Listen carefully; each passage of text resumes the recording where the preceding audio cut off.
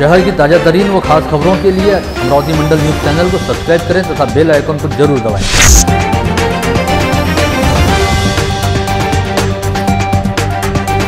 नमस्कार, दैनिक अमरावती मंडल के मंडल news bulletin में आप सभी का स्वागत है। आइए पेश करते हैं आज की कुछ खास खबरें।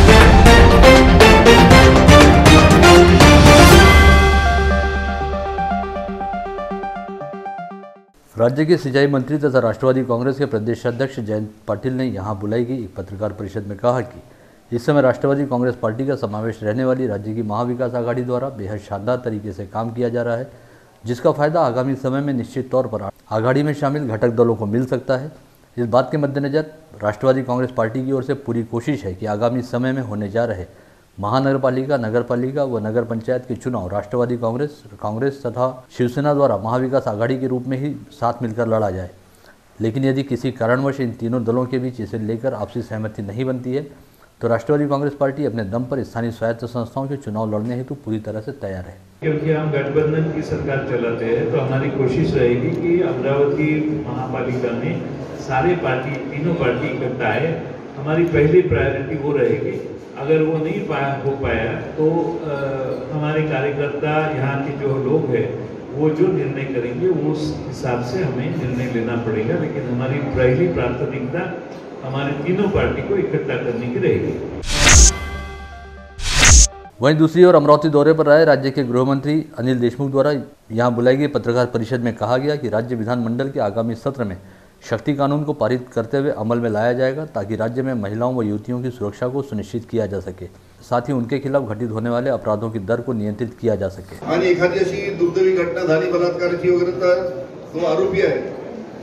आरोपीला कशी कठोर शिक्षा करता येईल? म्हणजे जी आजीवन कारावास आहे, तर त्याला सुद्धा कशा करता ही केस गेल्यानंतर कोर्टाने सुद्धा लवकरात लवकर हा निर्णय दिला पाहिजे. तशा पद्धतीने सुद्धा कशा पद्धतीने कायदा करून बदल करता येईल? या शक्ती कायदा त्या निमित्तानं आणण्याचा राज्य शासनाचा प्रयत्न आहे. या शक्ती कायद्याचं प्रारूप आम्ही आमच्या मंत्रिमंडळाच्या बैठकीमध्ये समोर ठेवलं होतं. मंत्रिमंडळाने मान्यता दिली. बता दें कि स्थानीय शेगौनाका परिसर स्थित अभियंता भवन में गुरुवार को राष्ट्रवादी कांग्रेस पार्टी द्वारा अमरावती व बंडेरा शहर सहित ज़िले के कार्यकर्ताओं हेतु राष्ट्रवादी कांग्रेस पार्टी परिवार संवाद बैठक का आयोजन किया गया था, जिसमें राज्य के गृह मंत्री अनिल देशमुख तथा पार्टी प्रदेशाध्यक्ष व सिंचाई मंत्री जयंत पाटिल ने राकापा के शहर पदाधिकारियों व कार्यकर्ताओं के साथ संवाद साधा और उन्हें आगामी मनपा चुनाव के लिए अभी से तैयारी में जुट जाने का आह्वान किया है। राज्य शासनाची एक योजना आहे बांधकाम कामगाराची. आणि त्या बांधकाम कामगाराच्या योजनेचा जर आपण चांगल्या पद्धतीने अभ्यास करून जर आपल्या आपल्या भागामध्ये ज्या ज्या ठिकाणी आपल्याला जिल्हा परिषद लढवायची आहे पंचायत समिती लढवायची आहे नगर नगरपालिका लढवायची आहे महानगरपालिका लढवायची आहे अशा ठिकाणी जर आपण बांधकाम योजनेचा जर बांधकाम कामगार योजनेचा जर आपण माहिती घेऊन त्या जर आपल्या भागामध्ये जर राबवल्या तर त्याच्यामुळे सुद्धा आपल्या या पुढच्या महानगरपालिकेच्या आणि नगरपालिका निवडणुकीमध्ये आपल्याला चांगल्या पद्धतीनं आपले नगरसेवक त्या निवडणुकीमध्ये येण्यासाठी मदत होईल. पुन्हा एकदा सावरून बांधून पक्ष काम करणं आवश्यक आहे. इस बैठक के बाद वराडे मंगल कार्यालय में राष्ट्रवादी कांग्रेस पार्टी के ग्रामीण पदाधिकारियों की बैठक भी आयोजित की गई थी, जिसके बाद वराडे मंगल कार्यालय में ही दोनों नेताओं ने अलग अलग पत्रकार परिषद को संबोधित की। अमरावती ज़िले के दौरे पर आए राज्य के सिंचाई मंत्री जयंत पाटिल ने यहाँ के सिंचाई भवन में बुलाई गई समीक्षा बैठक में कहा कि ज़िले के प्रलंबित सिंचाई प्रकल्पों को गति दी जाएगी जिसके लिए राज्य सरकार द्वारा तमाम आवश्यक प्रयास किए जाएँगे। साथ ही अमरावती ज़िले के सिंचाई अनुशेष को दूर करने हेतु भी तमाम ज़रूरी कदम उठाए जाएँगे और विदर्भ क्षेत्र में सिंचाई सुविधाओं का पूरी तरह से विकास किया जाएगा। इसी तरह अमरावती ज़िले के दौरे पर राज्य के गृह मंत्री अनिल देशमुख ने यहाँ के शहर व ग्रामीण पुलिस के आला अधिकारियों के साथ एक समीक्षा बैठक में हिस्सा लेते हुए कहा कि इन दिनों डिजिटल माध्यमों के आधार पर अनेक अपराध घटित हो रहे हैं। उसका पता लगाने के लिए पुलिस विभाग को भी उसी पद्धति से एक सक्षम व्यवस्था उपलब्ध करानी होगी और अपराध सिद्धता का प्रमाण बढ़ाने के लिए जाँच यंत्रणा को और भी अधिक मज़बूत करना होगा। रिपब्लिकन पार्टी ऑफ़ इंडिया के राष्ट्रीय महासचिव डॉक्टर राजेंद्र गवई का जन्मदिवस प्रतिवर्ष 5 फरवरी को पार्टी कार्यकर्ताओं द्वारा बड़े हर्षोल्लास के साथ मनाया जाता है और कई तरह के आयोजन किए जाते हैं, लेकिन विगत 26 जनवरी को डॉक्टर गवई की कोविड टेस्ट रिपोर्ट पॉजिटिव आई थी और उन्हें हाल ही में अस्पताल से डिस्चार्ज मिला है। ऐसे में पार्टी द्वारा उनके जन्मदिवस पर किसी तरह का कोई कार्यक्रम आयोजित नहीं किया जा रहा, ऐसी जानकारी पार्टी के जिलाध्यक्ष हेमंत ढोले द्वारा दी गई है। गत रोज लंबे समय बाद अमरावती ज़िले में एक ही दिन के दौरान एक सौ उनासी कोरोना संक्रमित मरीज़ पाए गए। वहीं गुरुवार 4 फरवरी को अमरावती ज़िले में एक सौ अट्ठावन नए संक्रमित मरीज़ पाए गए हैं। इसके साथ ही समूचे ज़िले में संक्रामक बीमारी को लेकर एक बार फिर ज़बरदस्त हड़कम व्याप्त है। विगत एक सप्ताह से अमरावती ज़िले में कोरोना संक्रमितों की संख्या में ज़बरदस्त उछाल देखा जा रहा है और आए दिन सौ से अधिक कोविड संक्रमित मरीज़ पाए जा रहे हैं। ऐसे में कहा जा सकता है कि कभी कोरोना को लेकर हॉटस्पॉट रहे मुंबई व इंदौर के साथ ही दिल्ली को भी अमरावती ज़िले ने पीछे छोड़ दिया है। कल मुंबई में एक सौ सत्तावन, दिल्ली में 150 व इंदौर में केवल 36 संक्रमित मरीज़ पाए गए थे, वहीं अमरावती ज़िले में एक दिन के दौरान संक्रमित पाए जाने वाले लोगों की संख्या एक सौ उनासी रही और अब गुरुवार को एक सौ अट्ठावन नए संक्रमित मरीज़ पाए गए हैं। यहाँ पर विशेष तौर पर इस बात का उल्लेख किया जा सकता है कि नए साल के पहले 35 दिनों के दौरान एक जनवरी से 4 फरवरी तक दो हज़ार सात सौ छियासठ नए मरीज़ पाए जा चुके हैं और अब कुल संक्रमितों की संख्या बाईस पर जा पहुँची है। यानी रोज़ाना औसतन छिहत्तर से सतहत्तर नए संक्रमित मरीज़ पाए जा रहे हैं। वहीं इन 35 दिनों के दौरान अमरावती ज़िले में 26 लोगों की मौत हुई है। कोरोना संक्रमण की लगातार बढ़ती रफ्तार ने एक बार फिर प्रशासन की चिंता को बढ़ा दिया है और हालात को नियंत्रित करने हेतु प्रशासन द्वारा तमाम आवश्यक कदम उठाए जा रहे हैं। लेकिन अमरावती ज़िले में संक्रमण के अचानक बढ़ने की निश्चित वजह क्या है? इस बात का फ़िलहाल किसी के पास कोई ठोस जवाब नहीं है। हालाँकि प्रशासन द्वारा बार बार यही कहा जा रहा है कि इन दिनों लॉकडाउन की शर्तों को शिथिल किया गया है। ऐसे में लोग बाग काफ़ी हद तक लापरवाह हो गए हैं और मास्क, सैनिटाइजर व सोशल डिस्टेंसिंग के नियमों का पहले की तरह कड़ाई के साथ पालन नहीं हो रहा। संभवतः इसके चलते एक दूसरे के संपर्क में आने की वजह से लोगों के बीच कोरोना वायरस का प्रादुर्भाव बढ़ने लगा है। ऐसे में मंडल न्यूज़ बुलेटिन ने शहर के ख्यातनाम चिकित्सकों से इस बारे में चर्चा की और उनसे जानना चाहा कि अकस्मात कोरोना संक्रमितों की संख्या बढ़ने के पीछे क्या वजह हो सकती है और कोरोना के इस नए दौर से खुद को बचाए रखने हेतु किस तरह की सावधानियाँ बरती जानी चाहिए। जिला शल्य चिकित्सक डॉक्टर श्याम सुंदर निगम के मुताबिक प्रशासन एवं स्वास्थ्य विभाग द्वारा बीते वर्ष से अब तक सैकड़ों बार कोरोना प्रतिबंधात्मक उपायों को लेकर आम जनता के लिए मार्गदर्शक दिशा निर्देश जारी किए जा चुके हैं, लेकिन इसके बावजूद लोग बाग इन नियमों व उपायों की अनदेखी कर रहे हैं, यह अपने आप में हद दर्जे की लापरवाही है। ऐसे में ज़रूरी है कि हर कोई पहले की तरह मास्क, सैनिटाइजर और सोशल डिस्टेंसिंग की त्रिसूत्री का पालन करे। वहीं सुपर कोविड हॉस्पिटल के in charge doctor Ravi Bhushan के मुताबिक, इन दिनों जहाँ एक और शहर से ज़िले में हर और ज़बरदस्त भीड़भाड़ का आलम है और लोग बाग कोविड प्रतिबंधात्मक उपायों को लेकर पूरी तरह से लापरवाह हो चले हैं, वहीं दूसरी ओर मौसम में भी काफ़ी तेज़ी के साथ बदलाव हो रहे हैं और वायरल इन्फेक्शन बढ़ गए हैं। इन दिनों सर्दी खांसी व मौसमी बुखार का प्रमाण बढ़ जाने से कोविड टेस्ट का प्रमाण बढ़ गया है और पहले की तुलना में पॉजिटिव रिपोर्ट काफ़ी अधिक आ रही है। इसके साथ ही यह भी नहीं भूलना चाहिए कि जनवरी माह में कोरोना संक्रमण की दूसरी लहर आने का अंदेशा काफ़ी पहले जता दिया गया था। ऐसे में हर किसी को पहले से अधिक सजग व सतर्क रहना बेहद ज़रूरी है। शहर के ख्यातनाम चिकित्सक डॉक्टर प्रफुल्ल कड़ू के मुताबिक, जिस समय यह कहा गया कि इस बीमारी की दूसरी लहर आ सकती है तो कई लोगों ने इसे मज़ाक में लिया था और लॉकडाउन में छूट मिलते ही हर कोई बेखौफ और लापरवाह होकर घूमने लगा। यही वजह है कि अब तक इस बीमारी को खत्म नहीं किया जा सका है और अब इस बीमारी का दूसरा दौर भी शुरू हो चुका है। इसके साथ ही शहर के ख्यातनाम चिकित्सक डॉक्टर विजय बख्तार के मुताबिक इन दिनों अधिकांश लोग यह सोचते हैं कि उन्हें कोरोना नहीं होगा और यही सोच सबसे ज़्यादा घातक है और इसी सोच की वजह से आए दिन दर्जनों लोग कोरोना संक्रमण की चपेट में आ रहे हैं। ऐसे में बेहद ज़रूरी है कि लोग बाग पिछले अनुभव से सबक लेते हुए आगामी खतरे को भापकर अभी से सजग व सतर्क रहें, तभी हालात को नियंत्रित रखा जा सकेगा। इसके अलावा शहर में सबसे पहला निजी कोविड हॉस्पिटल खोलने वाले डॉक्टर सोहेल बारी के मुताबिक, विगत कई दिनों से लोग बाग कोरोना के खतरे को लेकर काफ़ी हद तक लापरवाह हो चुके हैं और मास्क व सोशल डिस्टेंसिंग जैसे नियमों का पालन भी नहीं कर रहे। यही अपने आप में एक सबसे गंभीर चूक है।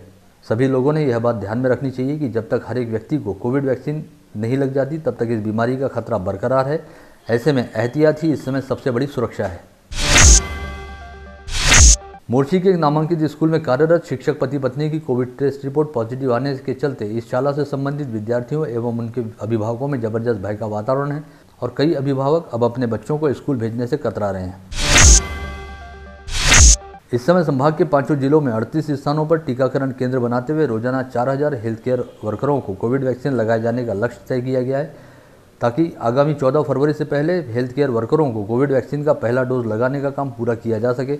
लेकिन इस समय संभाग में टीकाकरण अभियान एक बार फिर सुस्त पड़ता दिखाई दे रहा है और गत रोज 38 टीकाकरण केंद्रों पर 4000 की बजाय मात्र एक हज़ार दो सौ निन्यानवे यानी बत्तीस दशमलव अड़तालीस फ़ीसद हेल्थ केयर वर्करों ने ही कोविड वैक्सीन का टीका लगाया।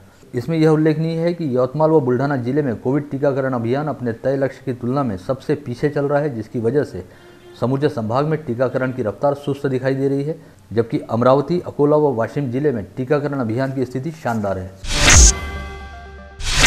विगत कई दिनों से कांग्रेस के नए प्रदेशाध्यक्ष पद को लेकर कयास लगाए जा रहे थे और विधानसभा अध्यक्ष नाना पटोले का नाम इस पद के लिए चर्चा में चल रहा था। इसी बीच गुरुवार की शाम नाना पटोले ने विधानसभा अध्यक्ष पद से अपना इस्तीफा दे दिया है और चर्चा है कि उन्हें कांग्रेस का नया प्रदेशाध्यक्ष घोषित किया जाएगा। नाना पटोले ने अपना इस्तीफा और पदभार फ़िलहाल विधानसभा उपाध्यक्ष के सुपुर्द किया है।